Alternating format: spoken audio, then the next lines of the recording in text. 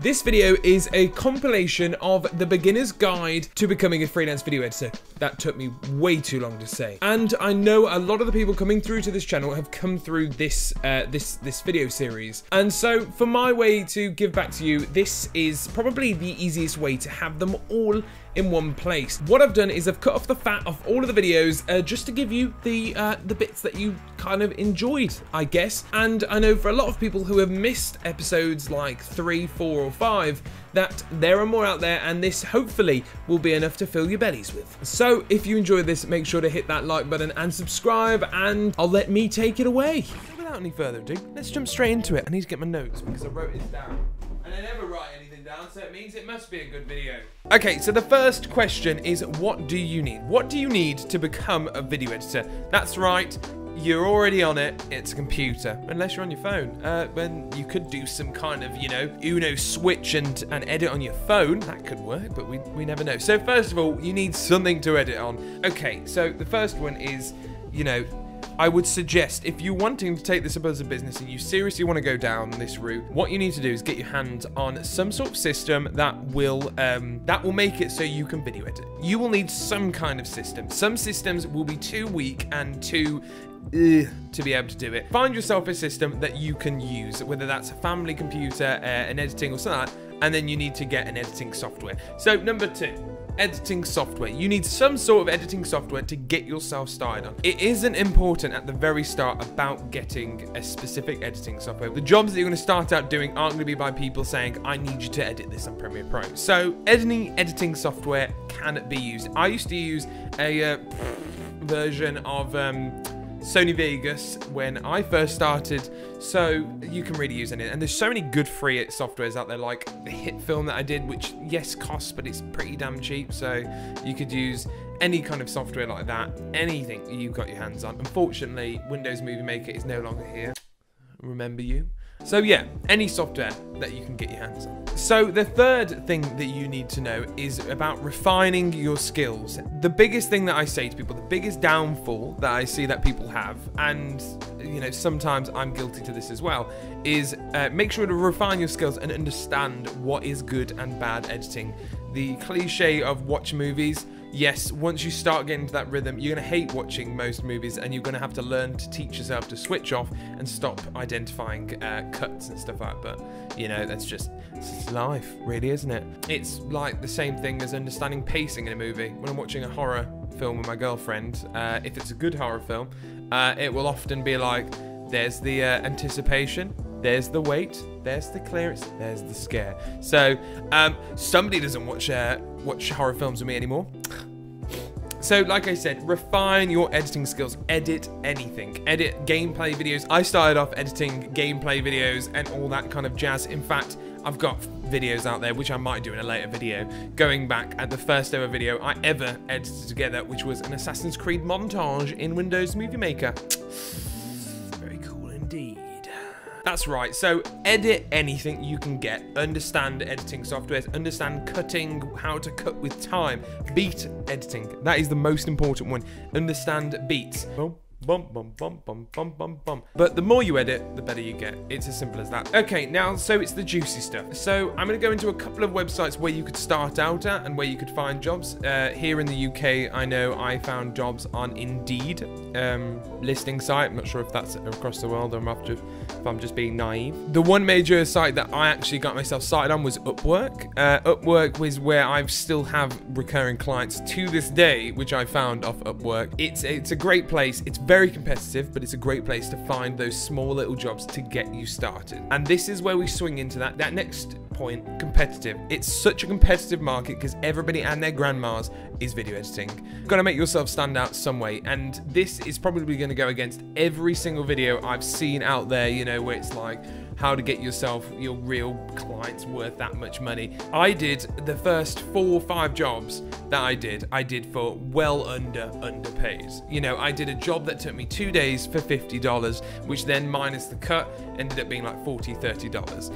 And the reason why I did that is because I needed those five star reviews. I didn't need the money, or, you know, I knew I wasn't going to go out there straight away, get a job worth £10,000 and be like, well, that's just how you do it with your clients, when the only thing that I've really got behind me is nothing too notable. So you need to build up a reputation before anything. And honestly, what I would say to people is when you slowly get through that, point of make, getting a couple of jobs, getting some really good reviews uh, behind you, then you can start adding up your price. You know, your worth will become so much more.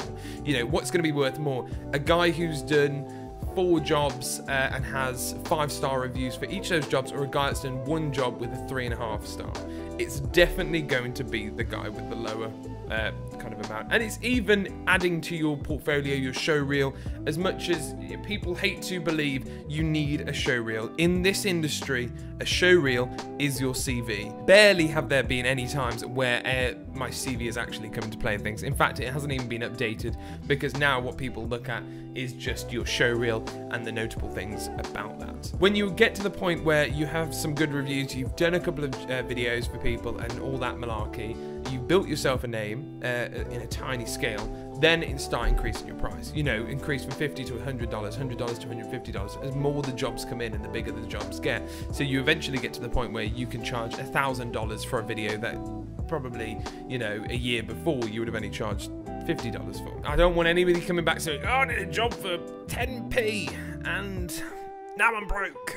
You know, it's it is an investment thing, and I, th- I and it's for me, it's just the way that worked when being against such competitive you know industry. Don't just use upwork use upwork use indeed use other sites like that. You know facebook um, has has great uh, facebook groups now where people are looking for video editors and stuff like that. If you can make yourself a little portfolio full of all the non-paid and paid work that you've had you're going to be on the top of that market. Yes you're no you're not going to be in competition with uh, people who edited like Game of Thrones or anything like that, but you're still making yourself a little landmark and growing bit by bit, and that's how it kind of that's the best way of it working. So, ladies and gentlemen, I hope that helped in any way. I feel like I just bambled on about crap.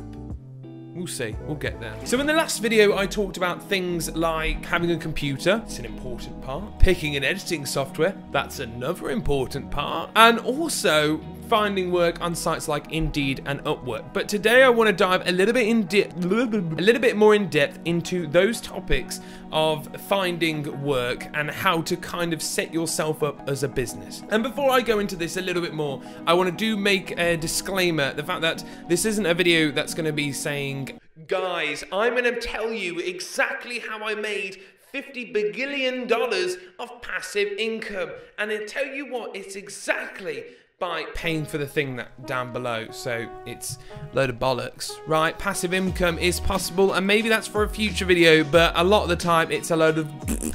So now to the serious part to the video. Let's let's get on with it.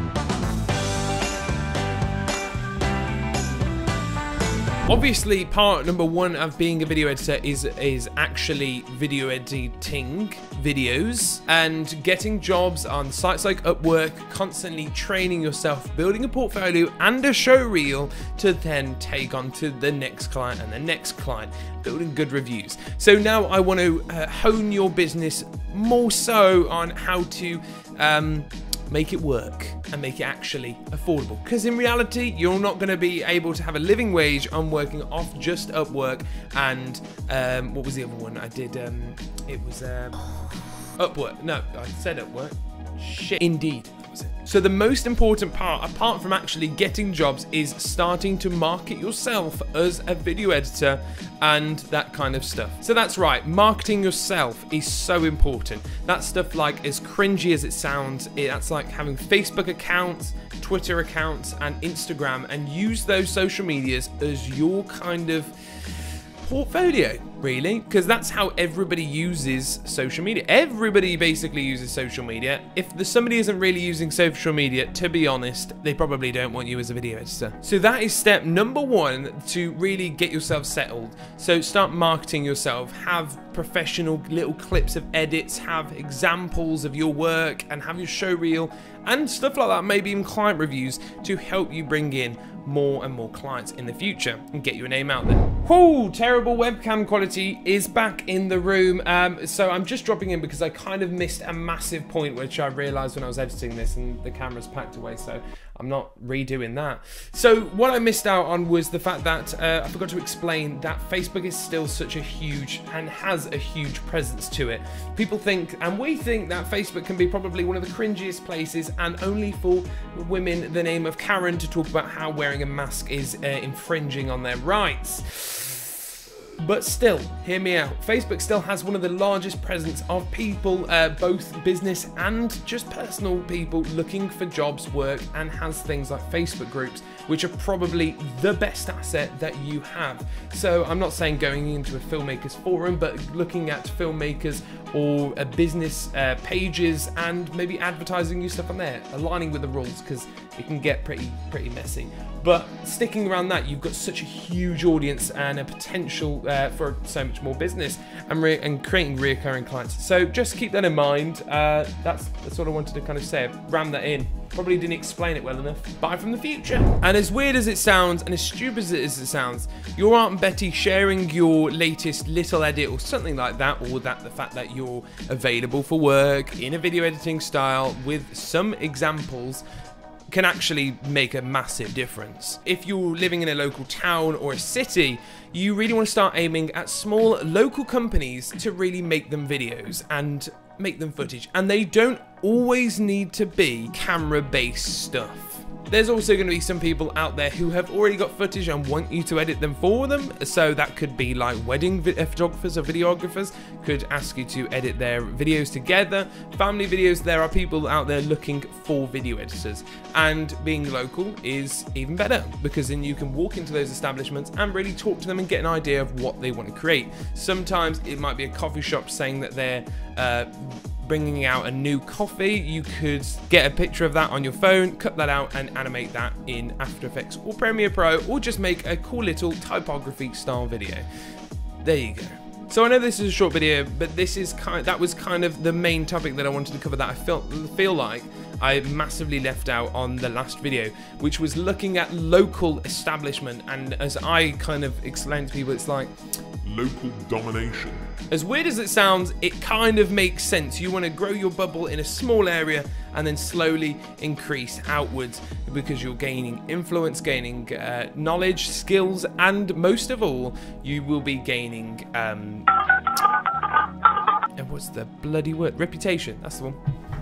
Reputation. So that's all I have uh, time for today um, because I don't actually have anything else to say. I might have to make a part three if I'm watching it back and think, Shh. So that if there's two things you can take away from this video, that is make sure to market yourself on social medias, take advantage of that, post high quality photos of yourself or of your branding or, or this and that. And just, just going back to that point, don't feel ashamed if you want to maybe buy a Fiverr or something like that. Just some graphic art and stuff. You don't feel like you have to do every single thing. Like I know I'm a video editor, but I'm not very good visual um, FX kind of creator. I'm not good at 3D models really. I'm only starting to get into 3D modeling and stuff like that. I'm more of a basic, you know, Oh, downplay myself. And two is look at local domination. That is in sense of looking around at local businesses who might want videos and films to really stock it up. Offer some unbeatable prices and something that I personally do is that if somebody refers um, a company or a brand or something to me, they get 10% of that profit, whatever the profit is. So if the job is a thousand pounds, that person will make a hundred pounds just for recommending me uh, to clients. So the first question that came through was from a week ago, and it was from a bloke called, uh, or, or a woman. Uh, it was from somebody called It's Ace. He said, uh, the things that people never seem to talk about is copyright rules and taxes. That is what's stopping me from getting into freelancing. So, here we go. The two big, most boring things that we could ever talk about, but they are unfortunately the most important parts because if you don't do these, um, you're. So, taxes, taxes, taxes, taxes. I hate taxes. That's my rule number one. Part 1A of taxes is hating taxes.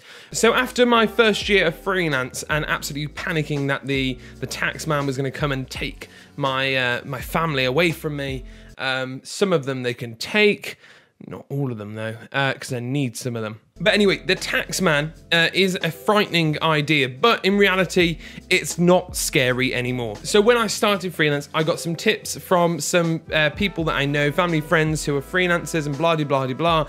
And what they often did was they hired an accountant, which from my first year freelance wasn't going to happen. They hired an accountant, they gave all their receipts to the accountant, and they kind of sorted and filed the taxes. So because I didn't have that money, I had to do the research and find out how the heck do I do my taxes in the least amount of time with the least effort required because I didn't know what I was doing. And I found probably the perfect thing ever. And so, if you have been uh, a singleton and dated and used the app Tinder, this is probably the best app that you could ever find. So, this isn't sponsored. I just have a dear love for this uh, this this this thing and it's called QuickBooks Self-Employed. It's basically Tinder. You swipe left and right on it uh, and left for business, right for personal and you just bam bam bam bam bam bam bam. In the UK you file it to HMRC and it's actually really easy. It does everything for you. You can even select uh, uh, like criteria. So if you go into a certain shop or you go to Primark or any of the shopping centers, you can automatically set those to personal or to business or whatever. It's honestly a beauty and it's not even terrifying once you get into it. It's so easy to use. I it's never let that fool you back. It's very important. You can get screwed over if you don't do your taxes, but using an app like this, an idiot like me can even do it. So that's that's saying something. Christ, fan break. Well, my fan broke, so it is currently sitting in a bin. I'm gonna I'm gonna have to leave this on. If you can hear a fan in the background, you're gonna have to deal with it because it's 29 degrees and I'm dying.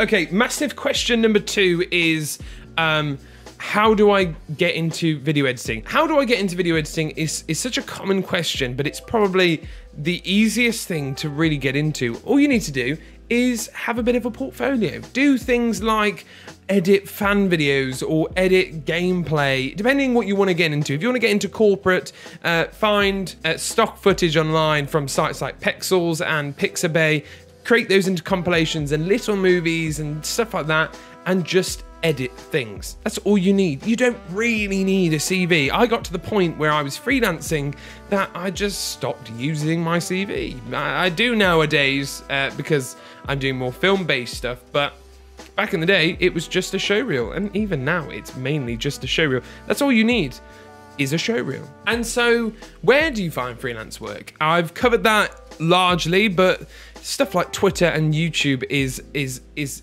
a playground for video editors. You have a lot of YouTubers who are looking for editors constantly. I constantly see them on my Twitter feed. So maybe go follow me there and I'll retweet them when I see them or whatever. This is a bit of an in detail one. So people are asking, do I need to go to uni to get editing jobs? No. From somebody who went to uni and is probably the very rare person that I feel was a complete useful bit of time, it also trained. It didn't train me to do these crazy effects or to do certain things. It, I learned the logistics, which I think are increasing insanely important. I learned the theory behind editing, why you edit, how you edit, who you edit for. Experienced. I learned a lot of things to do with filmmaking, which then had an effect on my video editing. So before my video editing before uni and after uni, over the period of time, was massively changed. But it depends what you want to go for. If you want to stick to corporate, say, corporate YouTuber and all that kind of stuff, make that your job, that's totally doable. You don't need to go to university. You can do it from from your home because I learned the mass majority of everything that I know now, and I still learn. I still look at tutorials. I'm still editing a project or something, and I'll look up a tutorial how to do something new. Is YouTube. I haven't really been a person who learned a lot from Skillshare or websites like that. I've always tried, uh, but I think there's a lot of basic video editing stuff on there. But YouTube's the best place to be, and it's a lot of the time it's just editing, editing, and YouTube. It's it's free, it's easy, but I'm not going to say rely just on those two things because what university does teach you is it teaches you the logistics and the theory behind it. But if that's something that you're not too fussed about, then go for it. YouTube's here and just start working. You don't have to have an age requirement. You don't have to do anything. You can just start building a portfolio. If you're 15 and you're building a portfolio of just edits and edits and edits, then that's not a bad thing. That's not that shouldn't stop you in any way, shape, or form. I started my first gaming edits when I was uh, 15 and got my first uh, technical job. Uh, it, I wasn't paid. It was by, it was a big company as well. I think they gave me like a a gift card or something like that. But it was experience. It's basically work experience. And I did that when I was 16. And so there's no age requirement. So don't worry about that. And if you're 85 year old man, keep going, buddy. Once again, another question. I, I, honestly, I keep looking at so many questions, and they all are: Where do I start video editing? How do I learn to video edit? YouTube, basics to learning video editing. Start editing stuff. Use stuff like stock footage and gaming videos and anything that you're interested. I have people always say that they edit, you know, fan videos. That's not bad. To be honest, some of these, I think there's some. I can't find it. I'll have to uh, have a look for it and, and react to the channel or some something like that. But there's a there's a YouTuber out there who is, makes fan videos, like you know the ones it's like about an actor or some shit like that. The edits are insane, like absolutely insane. They do a whole breakdown of how they do it, and it's like it's a fan video, but it's honestly mental. Brilliant. Brilliant. And the last one, the last question that I'm going to actually cover is programs to edit. Edit on absolutely anything. Honestly, there's no quota for it. I personally prefer Adobe. I've I've used Avid, I've used iMovie, I've used Final Cut, and I've used Sony Vegas, and I've used Window Movies Maker. And honestly, they're stick. If you can get Adobe once you've got a couple of jobs, then boom, do that because it's worth it. You know, you've got clients that kind of want to prefer it, and you, yeah, you know, go for it. Yeah. So one thing I see coming across the comment section quite a few times is how much shall I charge? What you should charge as a freelancer is completely down to you. And the amount that you charge will evolve with your progression as a freelancer. So like I've stated in other videos, I've charged clients for absolutely uh, loads of stuff for absolutely nothing. And then also on the other side of the scale, I've charged uh, quite a bit of money for not as much as what I would have done originally, if that makes sense. The way you have to think about it is how much are your time and effort and skills worth. And this is something that took me ages to come to terms with. So I realized at the start that I was charging far too little for uh, the amount that I was giving out. Not only the video in itself, but the skills, the knowledge, and the um, kind of aftercare that came with it. So I wouldn't just deliver a video, I would deliver a video recommendations, uh, how to use the video, kind of what you could do further, and how to make a move off that. Another thing is how do you receive money? Uh, that's one question I've seen come up quite a few times. Uh, the way I receive money is very simple. I either use direct bank transfer or PayPal. Don't try and overdo the system.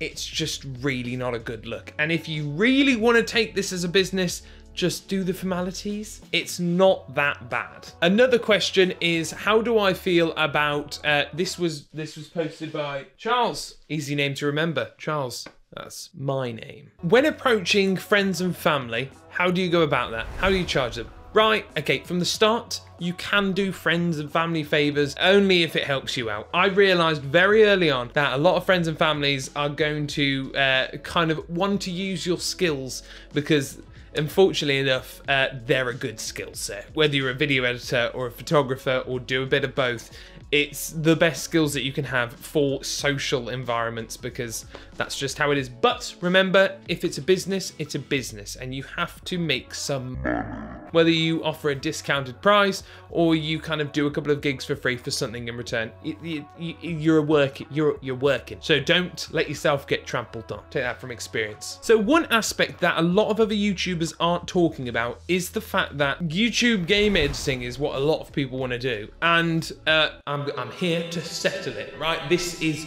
the official response from the Lieutenant Video Editor, Charlie Rowlands, and that is yes, you can make a living out of editing somebody else's YouTube videos. It's it's not as easy as it is to come by because it probably is. You've just got to go out there and find it. Twitter, sometimes they it on job listing sites. I've gotten, I've worked for one YouTube uh, company, one huge YouTube brand uh, through Indeed, which I got for that job for, and then I worked for another substantially large YouTuber uh, just through Twitter. So one of the two, make sure to keep your eyes open. When the job's there, it's great. You know, they're fun videos to edit. Usually you might start on a probation period and then if your relationship builds that YouTuber, you can start editing their videos full time. Like I said before, I'm kind of ramping off a load of small questions that I've seen before, uh, so everybody can kind of get the answer to these ones. Sending off your footage. When you're sending off clips or or uh, drafts or anything like that, I've used WeTransfer and Dropbox and Google uh, Drive. I actually find Google Drive was the easiest to start out because what you can do is you can create a folder and then have all of that client's foot drafts and stuff like that in that one folder. The only downside to the free version is the fact that it's only 15 gigabyte, but you, you, can make it work. Multiple accounts, ladies. That's what I'm saying. Multiple accounts. Another thing that I'm finding is that our younger audience are really wanting to get started and give it a go at becoming a freelance video editor or earning some kind of money from uh, video editing. Yes, that's completely possible. It's not impossible to be able to do that. Like I said before, you need to take a step back, understand what your skills are, how good you are at those skills. Like I can surely say there's a lot more uh, better video editors than I am who are under the age of uh, 18 for sure. But uh, it's just, yeah, that's not age age does not define you in video editing. Age does not define you. You are only as good as your skills are. And to end this question segment, uh, I'm going to talk about kind of, you know, getting started with video editing and how people really uh, can get into it. There is no constraints holding you back apart from really how good your PC is, so that is probably a constraint, but there is no constraints holding you back from getting into video editing. If you can have a PC that can run anything that's even free, you can get started. There are no constraints, you don't have to have Premiere Pro. When you start getting to bigger clients, of course, you need the industry standard, you need to be working in a certain workflow, but when you aren't, you can do basically whatever you want. So one thing people don't seem to get with video editing is the fact that it is pretty easy and open. It's not easy to get jobs, but it's easy to really learn. Everything that you need to know is right here on YouTube. You can learn every trick of the trade and every effect and detail and course that you need right here on YouTube. And the more you can open up and expand your skills is the best thing you could ever do. So for a lot of video editors, what I would say is once you get your feet in the ground, get your tiptoes in there, start looking at expanding out, you know, growing yourself, whether that's photography, videography, they're all conjoint skills that can massively improve your overall um, sellability and hireability for sure. And keep on having your fingers in loads of different pies. Never give up and never surrender. Yeah. Touch of salt. Use that pinch of salt pinch of salt. So covering up the last bit, what I do want to talk about is kind of the idea of working from home, working as a freelance video editor. You have a lot of people who um, talk about working from home, about how hard it is and how it can kind of start grating at you. For me, somebody who's been working from home for the past like six years now, it's really nothing ever different. You have to start having your own routines and kind of looking into how you work best. If you want to pursue video editing, you've got to come to the realization of that you have to become your own mini boss. You're going to have to start working on your schedule, working on this, working on that. So if you um, say have not yet to become a video editor, but you, well, you're the video editor when you start learning video editing. If you aim to become a paid video editor, a paid freelance video editor, you need to start adding in those fundamentals right now. You need to be waking up in the morning, learning, learning, learning, and learning. If you're not doing anything with your day, you need to learn a new skill. That's basically what I do with every single minute of every single day. Some things don't stick, some things do stick. It's like that old saying, you throw enough shit at a wall, something's gonna stick. So let's take a look back at some of the things we've already covered. Some of the things that we've covered already have been the basics. We've been talking about how to get yourself started, looking for work on Upwork, Facebook, Twitter, and all those kind of places. We've covered taxes, questions, and everything. But now there's a couple of things that I've missed that I'm I, am i am sorry for missing, but we're going to make sure everything to the T has been covered. And it's kind of something that's so important that it's it's a bit of a shame that I haven't actually covered it just yet, and that's because I don't know, I haven't got a good enough excuse. So the first point that I'm going to be hitting on is your social image. I can do a whole video about social media and about how I kind of after working on social media for so many years now that I kind of hate social media. And that if I didn't actually work on social media, I wouldn't be using social media at all. I think it, you know, I think it's damaging for so many people for so many stupid reasons that I think we can avoid. And maybe in the future I do a video talking about those ways that people can use social media in a way that it's not going to damage their social and mental health just video ideas. So the first point, as I already said, is your social image. Right, if you're a video editor, you need to let everybody know that you're a video editor. And that doesn't mean by going to your Facebook and telling your Aunt Betty that she uh, needs your video editing skills. That is your social proof. That doesn't mean you need hundreds and thousands of followers. That means you just need somewhere for somebody to look back on and now understand exactly what you do. And that goes over to my other social media thing, which is be careful what you post on Facebook and all those other things because potential clients will be, and I promise you they will, be looking at your social media, doing their background checks because that's the easiest way now to do background checks on basically anybody. Yes, people can fake it, but nine out of 10 times, it works. I'm not gonna lie, I'm gonna tell you a, a, bit of a horror story. So when I was younger, I got hacked on Facebook, you know, when one of your friends actually just uses your phone, but they say you hacked you. And so taking the story basically to the end, uh, a potential client saw some strange things that my Facebook page had liked, which obviously wasn't me. I know it sounds like it was now, but it wasn't. Okay, yeah, right? So your social image, your social image needs to be absolute pristine. You either wipe out that social image beforehand or you create a whole new one. So keep your family photos and your lovely photos of your puppy Bobby, you know, the, all of them taken on a crap phone, keep them away and then have your first social proof, your social image as a professional kind of way. That doesn't mean by being too professional, you know, people want to see that you have a personality, but they don't want to see you at, uh, you know, doing things you shouldn't be, or just uh, getting uh, absolutely wasted on a weekend. Yes. And it's very simple. All you need to do is just cover the things that you do. If you're a video editor, start putting some of your edits on there. Put tips and tricks, put pictures of you working, put the clients you've worked with, and all that kind of stuff. You know, brand yourself. That is probably the biggest thing. You can fake it till you make it. It's totally doable if you brand yourself correctly. And I'm going to give you probably one of the worst examples, but best examples that I can give you for that. And that is um, me. Fake it till you make it. Brand yourself bigger than you actually are. Why is it that without releasing any numbers, I have so many people that have watched and liked the first video of this that they don't know anything about my past. That is because I've brand, branded myself correctly. And you can do that too. You've just got to show people that you are confident with your abilities and you know exactly what you're doing. And that doesn't mean that you have to know every single tip, trick, and uh, rendering technique and effect to create to really get down that you you know like I always said in all these other videos I still use tutorials because you know how am I supposed to cram the entirety of After Effects into my brain and adding on to that issue that I find is I see that a lot of video editors and potential video editors that you need a good picture. Show yourself. The one thing that work makes you do is it makes you upload a good photo of yourself, so just get a good photo. You do not need a professional photo by any stretch of the matter.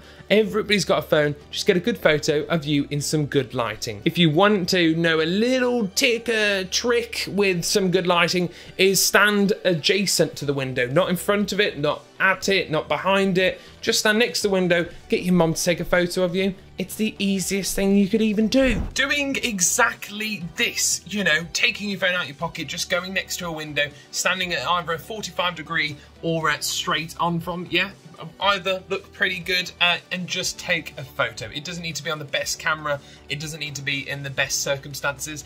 You just need a picture of yourself. Show who you are, smile and kind of, you know, um, it will make a world of difference. I can promise you that. Brand yourself. Make yourself a real person. Yes, we are a legion of people behind the computer, but we do exist. So put your face in front of it. Make sure you're known. You don't have to over put your face into it, but people want to know exactly who they're working with. Because when clients are spending their money on you, they want to know exactly where their money's going and if you look like a believable person. Now, the next trick is going to need this hammer. Protect yourself. I've learned this once again from experience is when you do too much goodness that you can sometimes get um, effed over. And I'm not saying in a physical sense. I don't even know why I'm holding a hammer. It's just helping me think about what I'm going to say. By protect yourself, I mean make sure you just follow the rules. Get yourself obviously set up with your taxes and stuff like that. But when sending stuff out to a client, don't just give them the end file uh, as a review because they will just walk away with it. Sometimes they will. I know it's some it's scumbaggy. We're not protected, so protect yourself by putting watermarks on your work. It's the easiest way to finish about that. So you're set up, you're ready to go, but before you know it, you're having the biggest issue that you've ever had, and that is speaking. Right, I know it seems trivial. I know it seems trivial. It seems like a problem that doesn't really even exist, but it does. As you can see in my past video that I just did, which is um, how to talk to a camera, this still applies to talking to clients. What you find is that so many people struggle talking to clients that they just end up um, not being very likable or not even building a bond with that person. And the reason why this is important is once again, we work over the internet. We work from here and we, a lot of the time, never see the client. So next time that you're having a conversation with a client, I want you just to talk directly, get to know them, build a relationship because the most important thing is you want that person to trust you. A lot of my clients building on reoccurring clients and staying consistent with certain clients is a lot of the time because of relationship. I've got to be honest. There are people that they could just get probably for cheaper or whatever, but they like working with me. So it's it's fine. It's good. So do that. Be nice. Get on with them you know, build that relationship. It is probably one of the most important things. If they text you, give them a shout. And another thing on top of that, when building a relationship, that I would always say is just sometimes somebody needs a favor. If it's a smaller client, don't try and act like he's some big mega corporation or he or she's a big mega corporation. Act just like a friend. And that's what some of them need. They want to bounce ideas off you, they want to build uh, that idea. They want you to basically be enthusiastic about their product, even if you aren't. I want you to be enthusiastic. I want you to act like their product's the best bloody product that you've ever seen, even when it isn't. And bouncing on the idea of having a social image, you need to get yourself socially prepared by having a show reel. That might mean doing some little videos yourself. That might be um, really investing into some gear. That might even just be finding clips online and branding them together and making them your own. It's not the hardest thing in the world. It's easy to do and you can do it. You've just got to be persistent. Now, the next point is going to be about social. Again, with I guess it's just a social video. This next tip that I'm giving you is about networking. Networking is probably one of the greatest assets, and I wish I started off with that. That's why ad time. That's why I've created the video editors and filmmakers uh, hub over on Discord. The link is down below. Please go there. We're starting a group, a kind of community where filmmakers and video editors can uh, interact, get work, blah blah blah, and all that other stuff.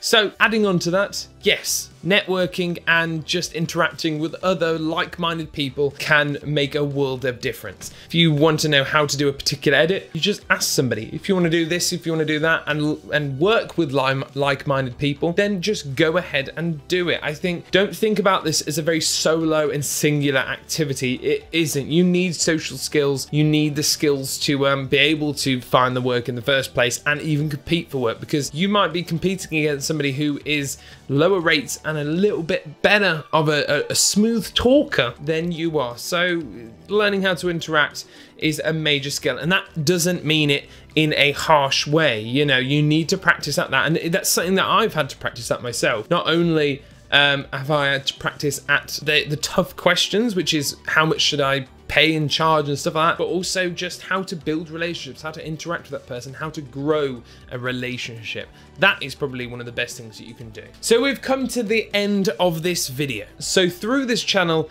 we are learning to improve on our skills as being video editors and how to kind of expand our careers and prospects on becoming freelance video editors. I think if you have watched all of these parts and really learned from them, then you are ready to become a freelance video editor. And it's just the start. So don't get too ahead of yourself. You're still at the start, but the start is exactly where you need to be at. But before I finish this video, I just want to say thank you to absolutely everybody who has watched this video or any of my other videos. It is an absolute honor to have such an amazing community built through these this series. So ladies and gentlemen, without no further ado, I will see you in the next one. No.